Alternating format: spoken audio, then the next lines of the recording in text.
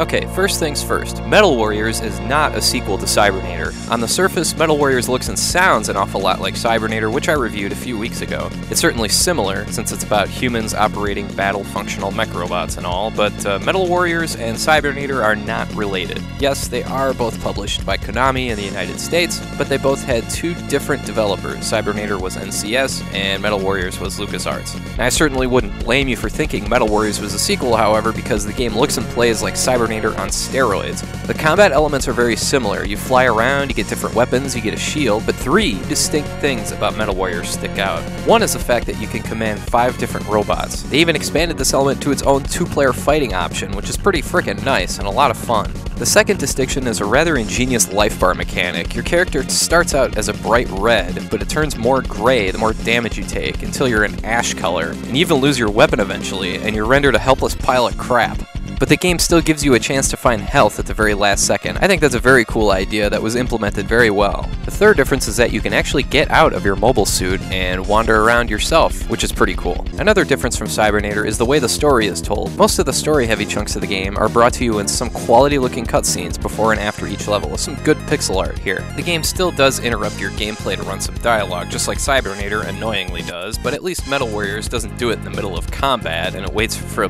little bit of a lull in the action. Now, where I'd give Cybernator the advantage here is in the overall gameplay graphics and the sound. While Metal Warriors has really nice looking cutscenes, I give a very slight edge to Cybernator in how the projectiles, explosions, and backgrounds look, and Cybernator wins in a runaway with the overall sound too. I just don't like how the weapons sound in Metal Warriors. It just sounds puny. What is this, a pea shooter?